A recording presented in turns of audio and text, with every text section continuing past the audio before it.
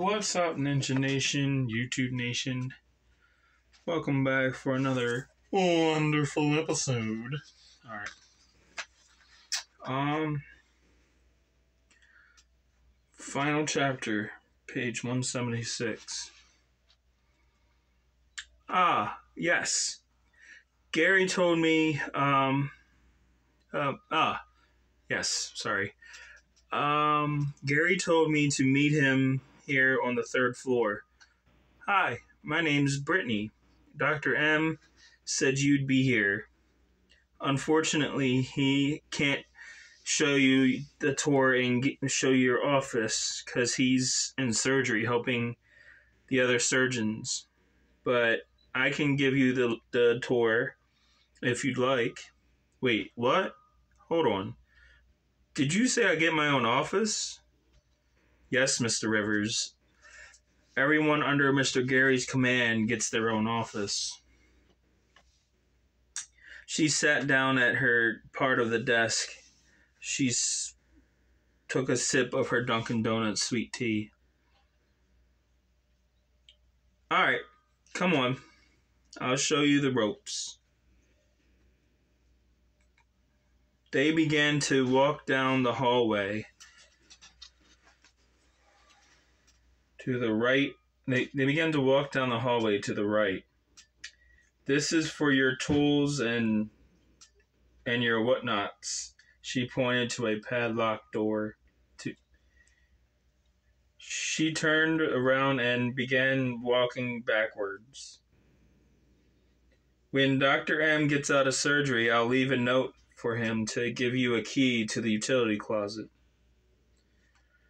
For the first time in forever. For the first time in forever. Sorry. Anyway, had to get that of my system. Uh, for the first time in forever, I actually feel like I belong. No, like this job has meaning. Granted, at 14 American dollars an hour, the income won't be anywhere near my contract jobs, but here the Americans but to hear the Americans talk this is part of the quote unquote American dream. So, why not? I'll try to keep it up after I find the Black Dragon scumball and figure out what is going on at Vidal and Vizel. Why why on earth is Master Raiden Lee in the same building as the members of the Black Dragon clan?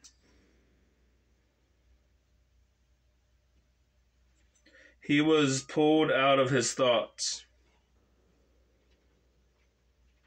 Brittany turned to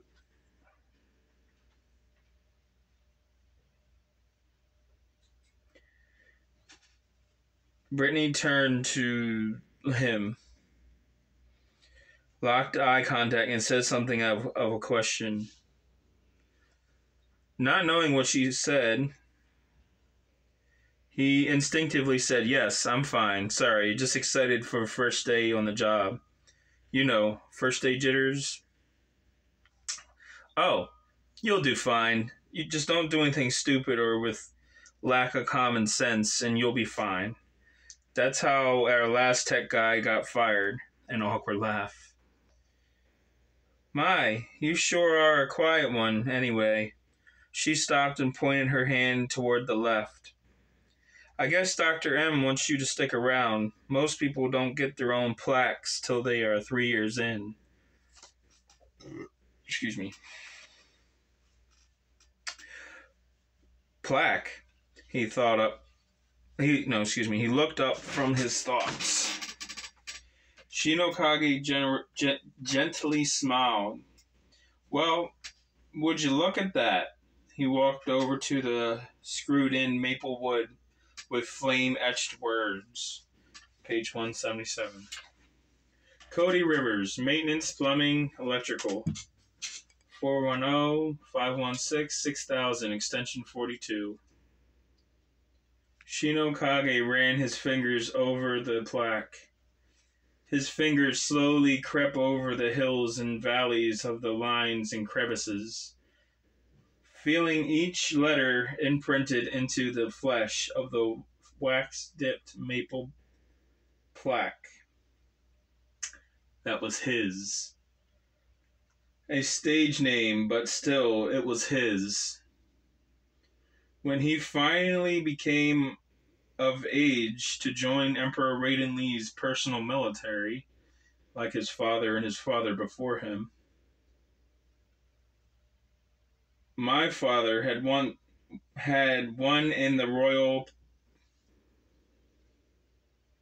what? Like his father and his father before him. But that's because he was Raiden Lee's top ranking military general and strategist, his father, that is. And a teacher of the elite class that was eligible for the first degree Dragon Belt testing and training. Well, no, that's a lie.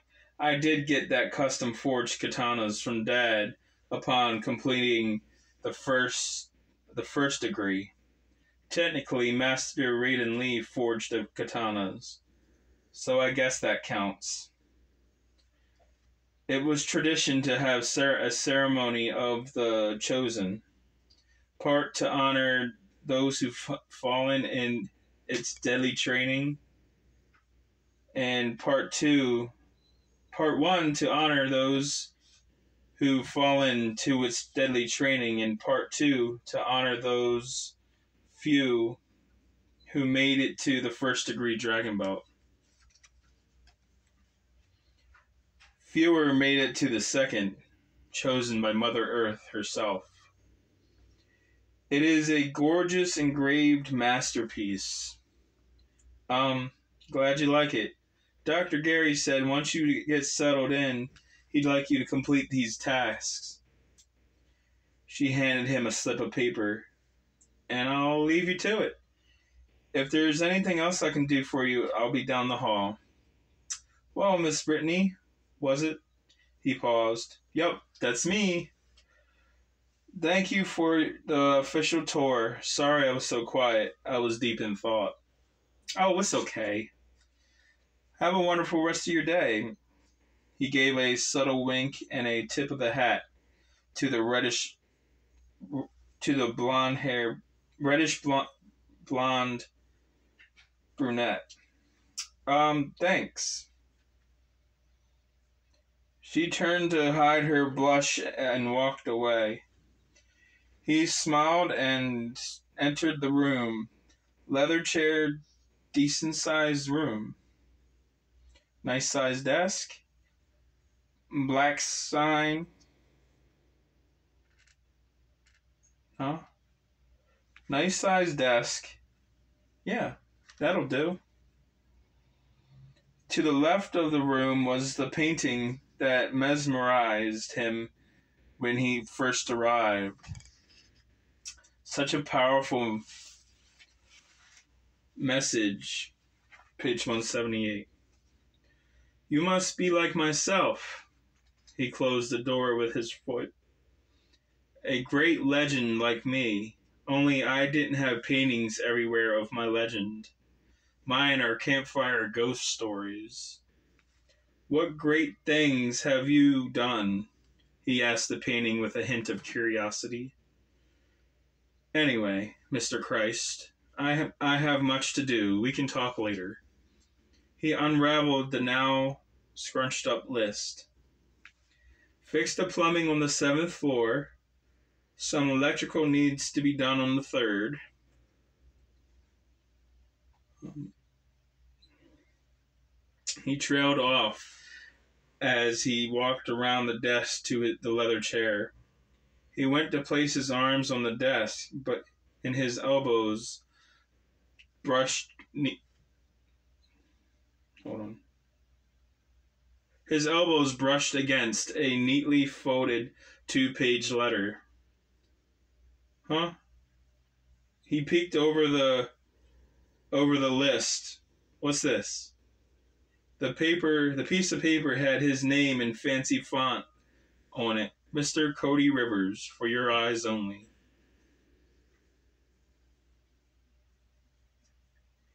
He sat the task list down and picked up the neatly crested triangle from the desk.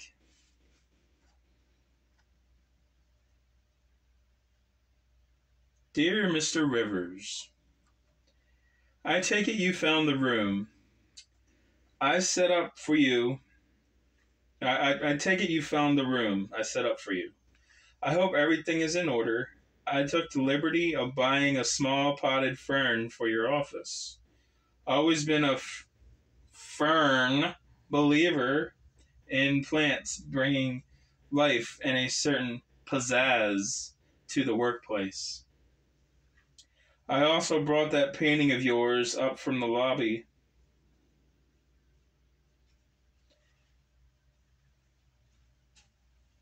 From the hall across the from my office and hung it up for you.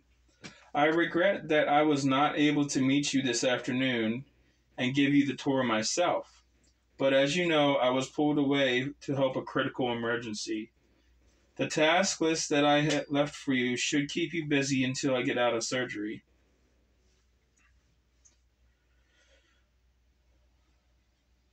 Now, to answer your question, who is Jesus? I'm sorry I didn't answer your question of curiosity earlier, but um, I'll try my best now. Jesus Christ is the one and only offspring of Yahweh, the great I am, God of creation, God of faith, Christianity, and Jesus was born of a virgin. Mary was the mom, Joseph was the father, and Jesus was a carpenter. But that's trivial knowledge. What made him famous and still talked to about talked about today were two major things. Page 179. First being his teachings. Back then, the Roman word was law. If you stole from or even disrespected Roman rule, you were put to death.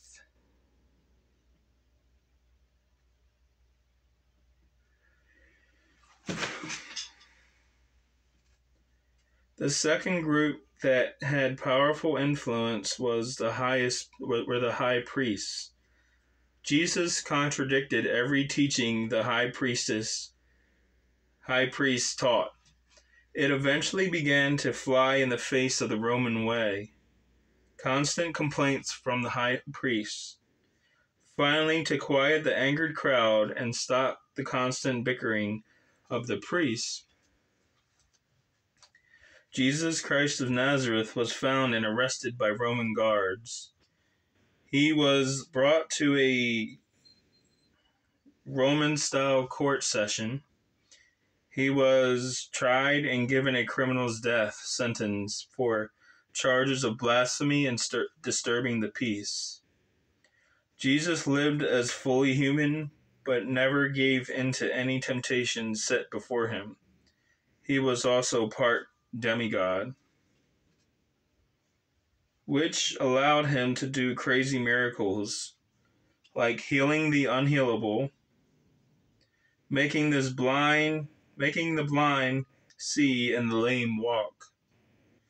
These charges placed in Jesus were false and not true. He was chained up to a wooden post. He was beaten bloody whipped with a nine headed spiked whip. They beat and mocked and ripped his clothes, then gave the Prince of Heaven a crown of thorns that pre- they pressed deeply into his scalp. Then from the from there on he was forced to carry a large cross all the way up to Calvary Mountain through crowds of angry people that cursed him. When Jesus got to the top of the mountain, the Romans guards nailed Jesus to thick timbers. He was raised to the dugout, dugout hole.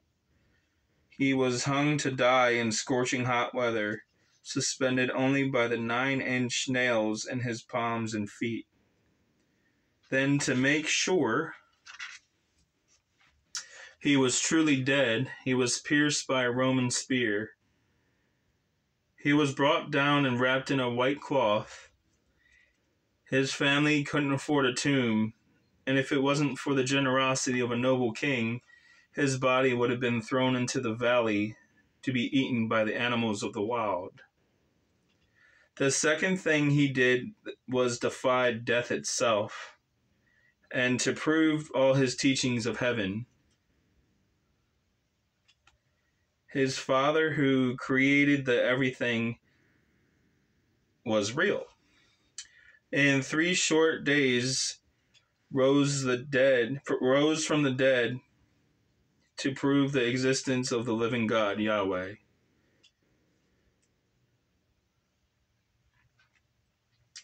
To show the people there was not even a shadow of a doubt that he was indeed the Messiah a gigantic boulder that was that took six men to put, to move into place was moved to the side on the third day.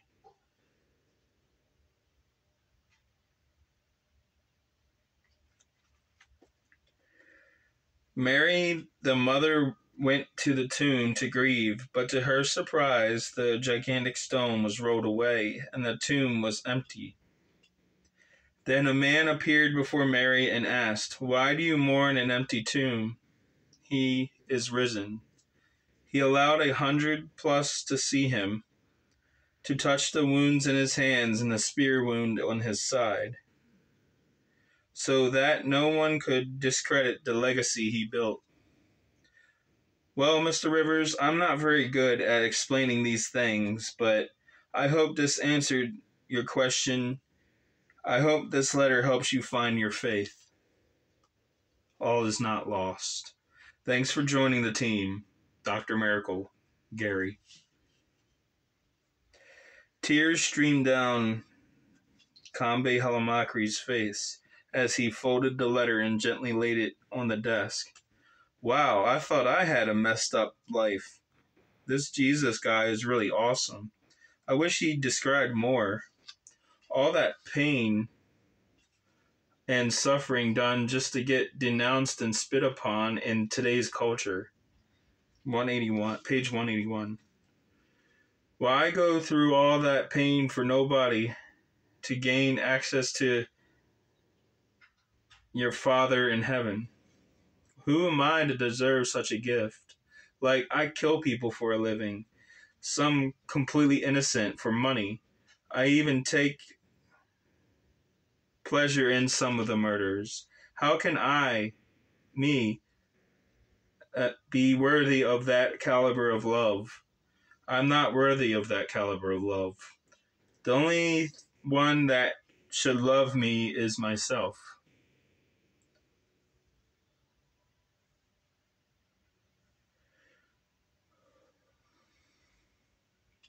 You're wrong, a voice said suddenly, Alarmed, he looked around and grabbed a letter opener and flicked it around with remarkable speed. A winged man appeared. This time, the spirit was not just a human shaped light, but an actual detail in flesh being. The man's had a soft, round baby face with a few freckles sprinkled across his face. His features were almost that of a red-headed cheerleader schoolgirl. He wore some kind of metal gold armor. The the energy the energy he was vibing was intoxicating. Whatever this being was, it was whether it was male or if it was whatever it was.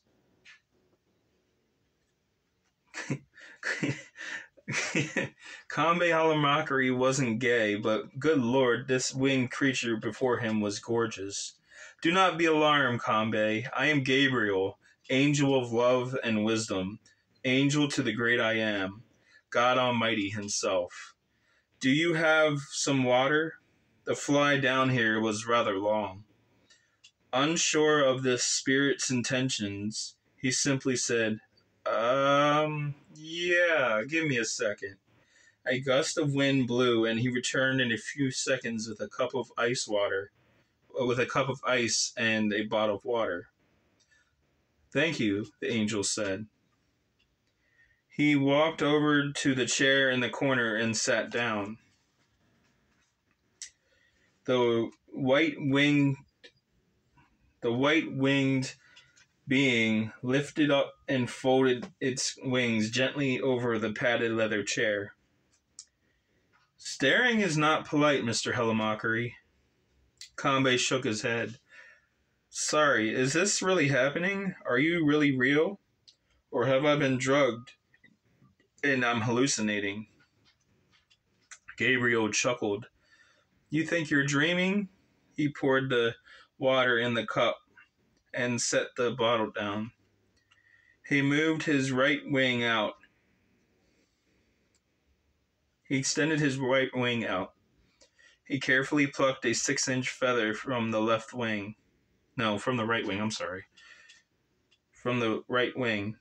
The wings shuddered as they fluffed themselves. He extended his arm. Here, take this for proof. Touch it. Feel it. Smell it. It's real. I'm real.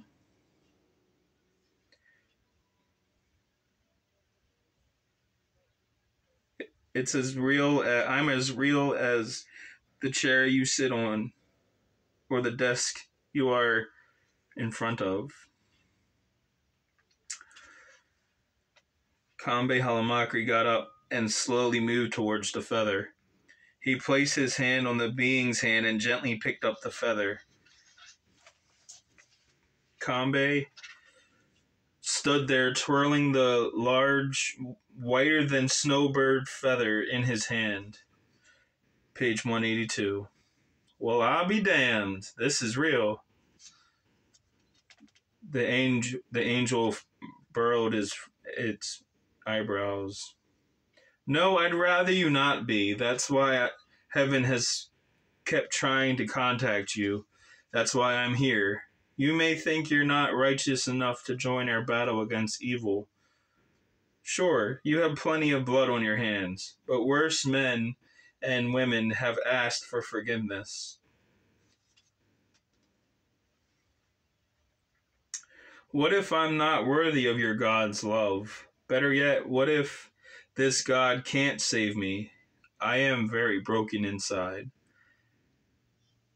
I don't know if you know my past. Oh, I skipped ahead. I'm sorry. I don't know if you know my past, but I'm very I'm pretty broken. Like a vase that fell to the ground, shattered and was put back together with school glue. I contract kill not because I love taking lives. Well, that is part of it, but I mainly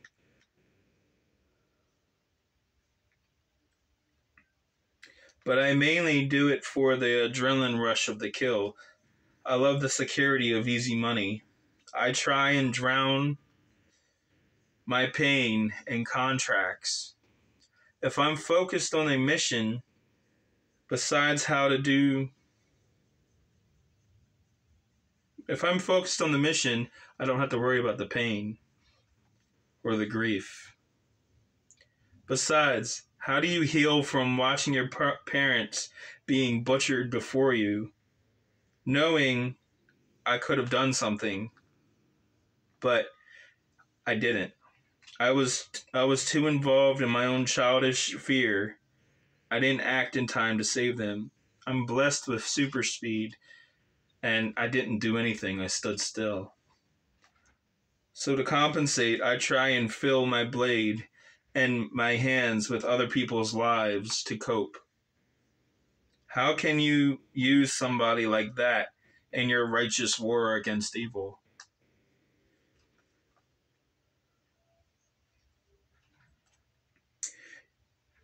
Gabriel sat up and now fully focused on Kanbe, hurt by his words.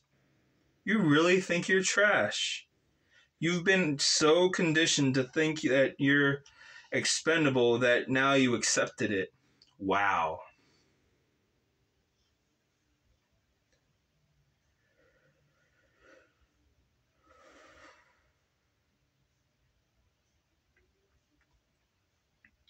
Gabriel brushed his soft red hair back and scratched the back of his scalp. He looked up at the ceiling. I knew he was broken, but you should have told me he was critical. I would have come into his life sooner. Dude, you, you, you can't blame yourself for what happened to your parents. The Black Dragon are a bunch of unhinged psychopaths. Why not? If I was more focused and faster and I actually acted, maybe. He choked on his words, now sobbing uncontrollably. Maybe mom and pop would still be alive. I'm not worth saving if I can't even save my parents from being slaughtered the way they were. Gabriel stood up angrily. Be silent, you stupid boy. I will not have you speaking ill of yourself no more. Gabriel's voice softened, but still had hints of anger in it. First and foremost, you were made a unique and powerful masterpiece. You're not some lab rat or experiment. My father, your creator, designed you skillfully and wonderfully made. Flaws and weaknesses, all who you are. Page 183. You've listened to the world's lies far too long. Do you think the shepherd cares less for the sheep that, that is injured? Um, no, I guess not.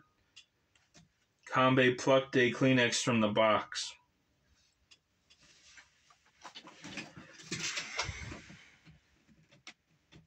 Oh, okay. We're gonna.